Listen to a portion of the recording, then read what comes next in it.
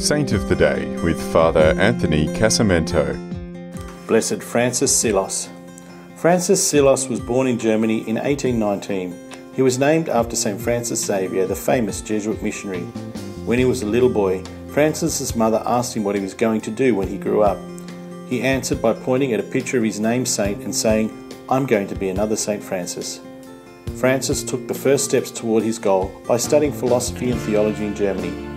While at university, he learned about the Redemptorists, an order of priests whose mission was to work with German speaking immigrants in the United States. Francis immediately joined the order. It wasn't long before he sailed for America, where he began his studies for the priesthood and was ordained in 1844. Francis was assigned to a parish in Pittsburgh his first pastor was another famous missionary who would eventually be canonized, St. John Neumann. Neumann was a powerful influence on the young priest. He showed Father Francis the importance of working among his people, as Jesus did. Even after he left the parish, Neumann continued to be Father Francis's spiritual advisor. Over the next several years, Francis took on responsibilities in the Redemptorist order, but he continued an active ministry with normal people. Father Francis was able to speak three languages and celebrated the sacraments in all those languages, reaching out to as many people as possible.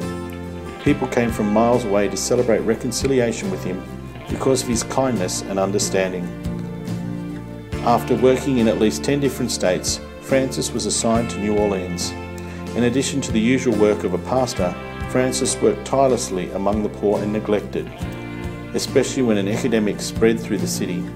Worn out from ministering to others, Father Francis could not fight off the disease himself. He was only 48 when God called him into everlasting life. Pope John Paul II declared Francis Seelos blessed in 2000.